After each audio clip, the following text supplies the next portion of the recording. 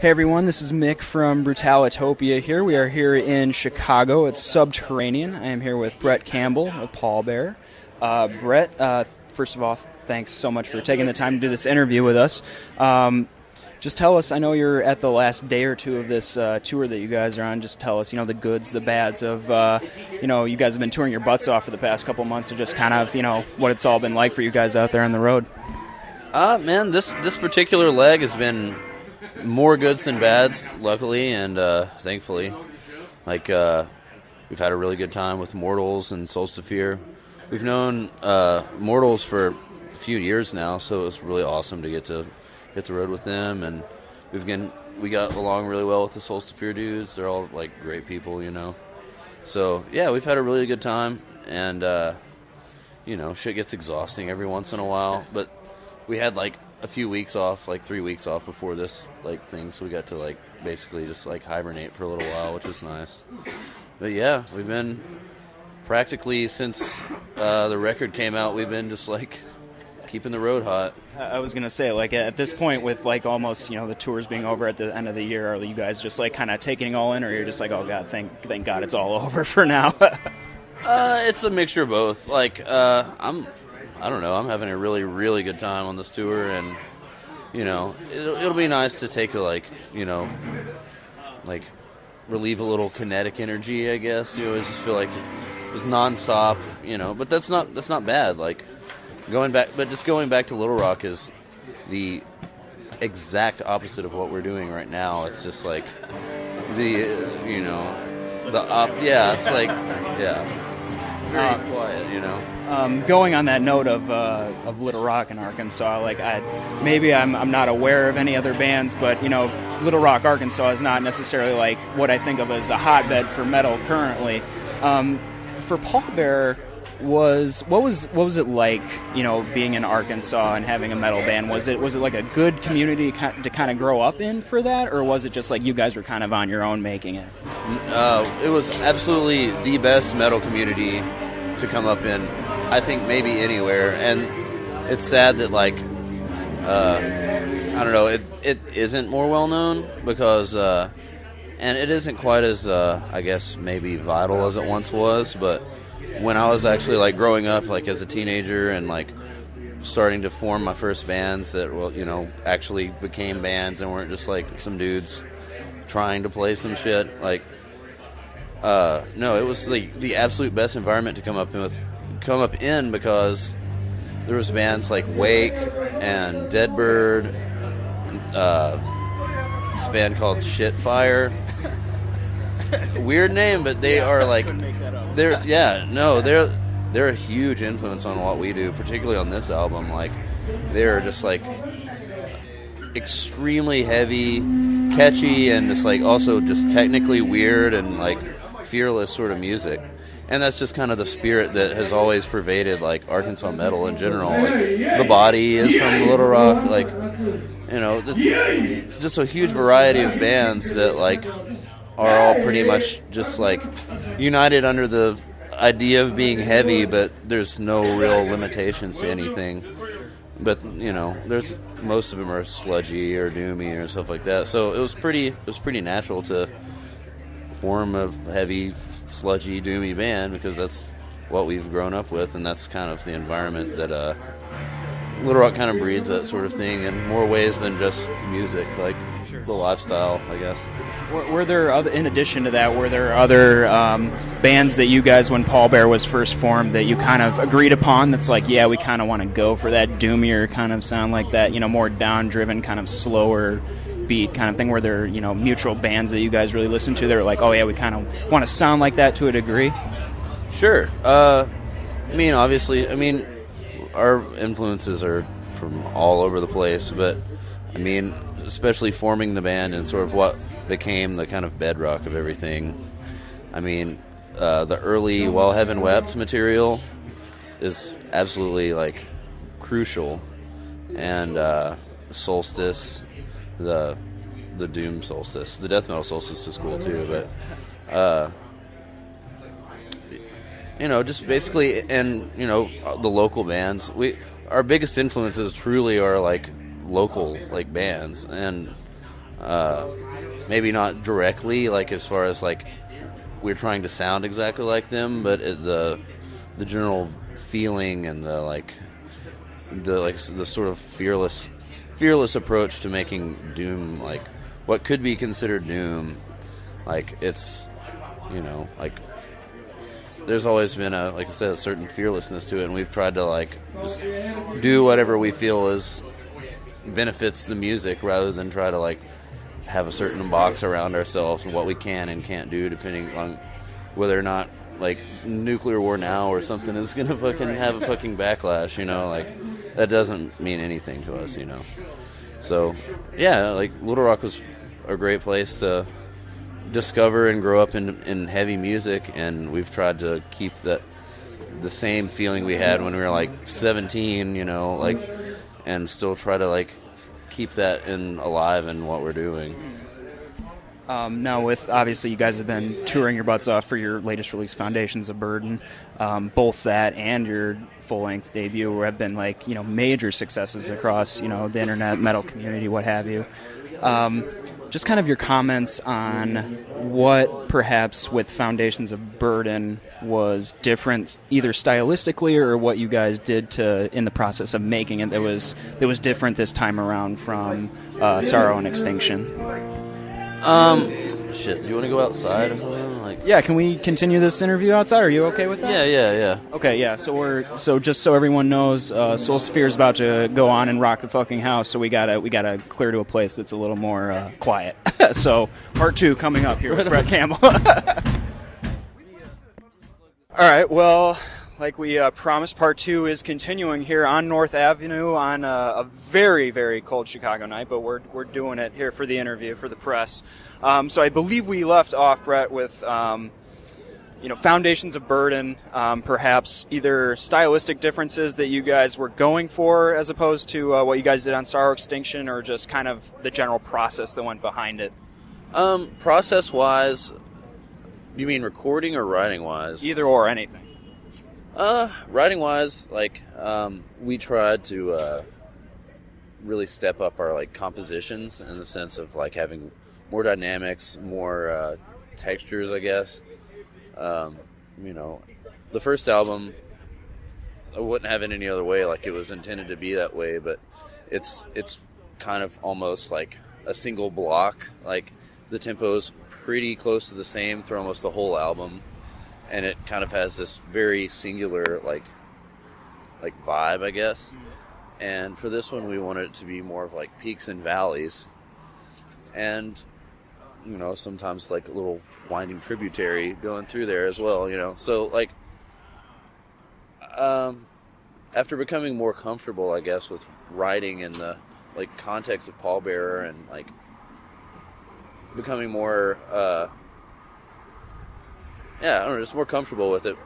We decided to sort of push what we can do as a band and you know challenge ourselves a little bit and you know so that way by the time we get to our next next batch of material we'll be moving even farther ahead you know like there's no i've never really i mean some bands can pull it off like iron maiden and acdc motorhead whatever like sort of just they have their style they have their sound and then they just like nail it every time and you don't want them to change it you know but like we're not like really capable of just sticking with one thing because it would just get really boring and we would lose interest and it wouldn't be honest, you know. So we just uh, basically just played what came naturally as the next batch of material, you know. It was there was some forethought as like we wanted to have a little more energy or like proggy elements and stuff in this stuff in this next, you know, this latest batch of songs, but other than that, it's just whatever came naturally. Uh, we pick what we like the most out of our sketches of songs and then develop those, like the ones that really everyone agrees like hits. Right.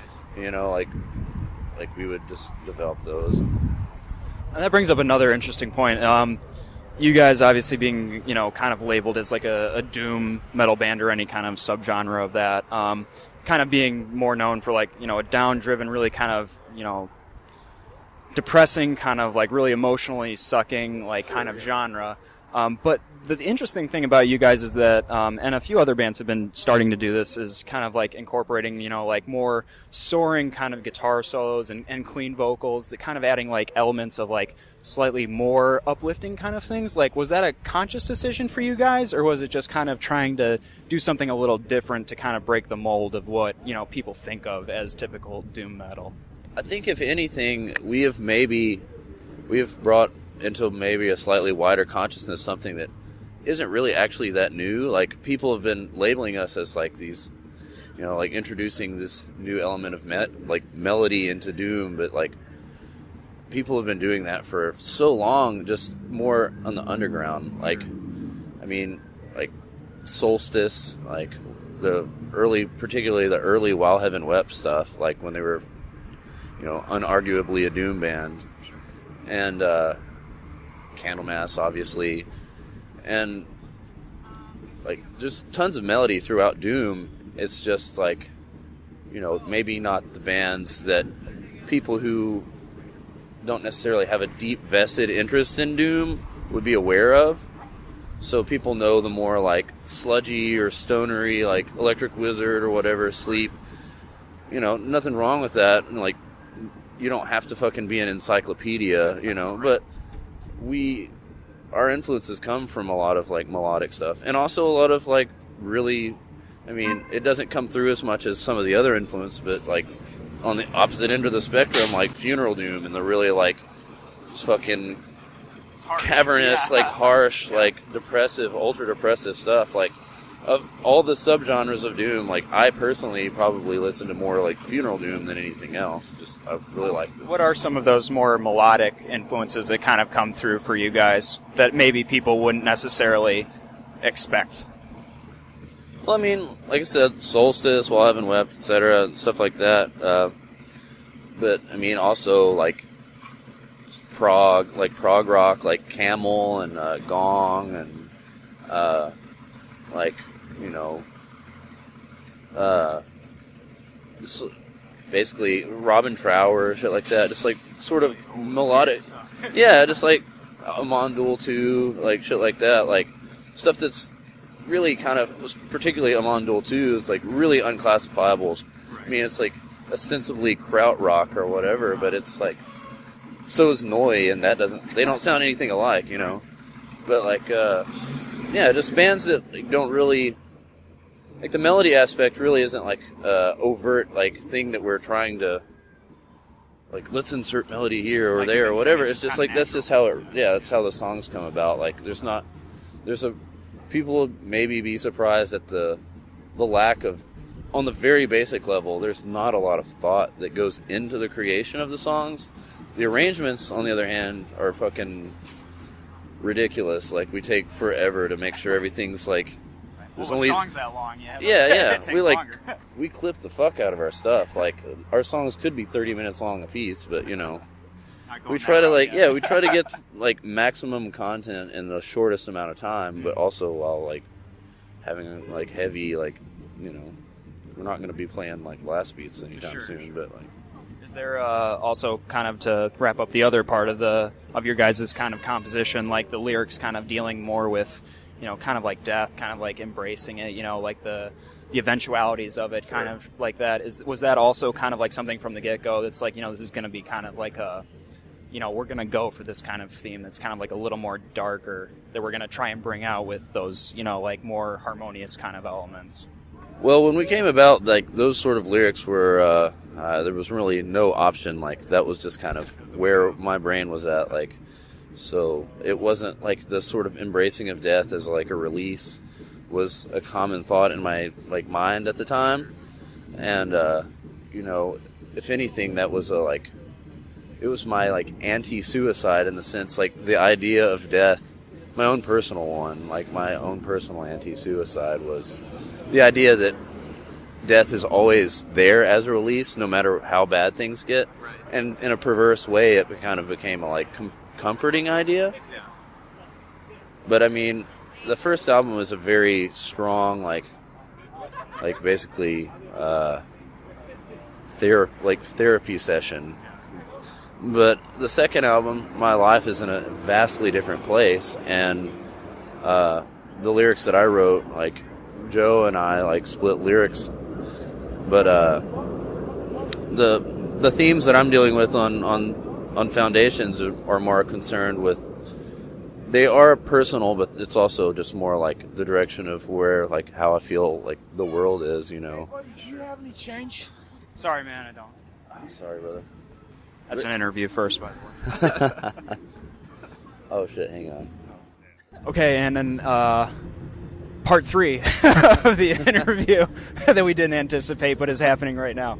Um, so we were kind of talking on, you know, kind of the lyrics of Pallbearer, just kind of death being um, just kind of something you eventually kind of like embraced in a way, kind of as opposed to, to Right. fearing. Yeah, and it's. I think that's. I don't know. For me, it was like a sort of stopgap to sort of understanding different ways to. I mean, there was a lot of changes in my life that happened after the release of the first album that aren't even necessarily related to, you know, the fact that we've been touring almost nonstop since then, and but like there was just a lot. It was a really tumultuous period of life, and so but now like like lyrically like the lyrics for all of our stuff comes after the music for the most part and so the songs come about and then after a certain period of time i can figure out what the songs are about and then that's you know the lyrics come from there and i've never spent more than like three hours on on lyrics it's just kind of a it's the same way as like I was saying, the basis of the songs, there's not a lot of thought that goes into it. It just like when it happens, when you know it's the right time, like that's when you like, I'll really just sit down and focus. Like if I'm knowing I'm having like a particular like moment of inspiration or something, you know, sit down and just like almost like stream of consciousness, like write things. So, I mean, the lyrics would be necessarily from album to album different because they're a honest reflection of wherever I'm at, like mentally at the time. Um, well, just to kind of start wrapping this interview up, since our uh, hands and lips are starting to turn blue and purple. um, any plans for you guys? Um, immediate. I know you only have this night, and I think tomorrow night is the last night of this tour, if I'm correct. Um, and then maybe a, couple one-off shows here and there before the end of the year. But anything, um, in, uh, you know, in the new year that you guys have planned that you can announce, or anything in the works that you can talk about? Um, I'm honestly not fully sure how. Like, uh, there's some rumors on like the internet for some stuff that we're going to do, and uh, but we are definitely playing. Uh, we're playing a New Year's Eve show in in Austin. with the sword. Yeah, it should be pretty fun. And then uh, we're playing a show in Little Rock in late February. And then after that, we're touring a bit in the spring, and then we're going to Europe again next summer, probably. So more touring So more touring, yeah. I'm gonna try to take a break by like next fall and try to like really like I don't know figure out like what's what's up with the, the rest of my life, you know, like hopefully try to like write some more music. Like we've got a bunch of stuff in the works, but we've been so busy you can't really like sit down and just like really put anything together. Right. So hopefully after like next summer we'll have a, a break. Not that I mean I love touring and everything, but like You need to, you yeah, it's yeah, every now and definitely. So Um, well, just to, to end off the interview, we always kind of like to ask a more a more fun, less serious question. Um, 2014, like like all the recent years, um, have been very good for metal. Um, have there been any particular releases since everyone is releasing their year-end lists that um, you can say or speak for the band that Pallbearer has really been listening to and digging, whether it's metal or not? From Um, this year? Yeah. It, I I know when I ask that question, a lot of people you know say like, well, we've been touring and focusing so much on our own shit that it's like you know we don't have time to listen to other stuff. But That's- um, are are there any things for you guys that fit that? uh, what you were saying is totally true in my like state. Like I don't like I haven't uh, kept up with things as much as I once did, just because when I had a place, I didn't have the internet and like pretty much would just be a hermit when I'm at in Little Rock because it's the exact opposite at all other points in my life. So uh, I just read a lot and stuff back home and listen to my same records from that I've had, you know. So, but uh, as far as things that came out this year, uh, obviously for me, like my favorite release by far is the new Godflesh. Oh, really? Which we all we were all really into it, but like Godflesh is my like top tier level band. Like that's my favorite heavy band ever, and the new album was so beyond like. I mean, I, I try not I try not to have expectations for stuff, especially things that are or just things that I'm really into. You know, like I don't want to be like let down, and everyone, you know, you got to give people like the benefit of the doubt that, especially like musicians or artists or whatever, you know that they have a particular vision. You know, you don't like whatever they do is what they're gonna do, but. Like I'm sure I would have enjoyed it regardless, but I was like completely blown away, and I like love the new Godflesh, and uh, the horrendous album that came out. I've been crazy dude, you've got to check it out, man. It's really, really good. It's it's really brutal and also just like got crazy like melodies and stuff. It's just solid death metal all around, man. It's just good metal in general. Well, uh, that's been uh, the interview, everyone. Uh, this, is, of course, has been another Brutalitopia interview. This time with Brett Campbell of, uh, Pallbearer. Be sure to check out Foundations of Burden and uh, catch them out somewhere on the road next year, since it sounds like they're going to be touring a lot. Um, so yeah, see you guys later.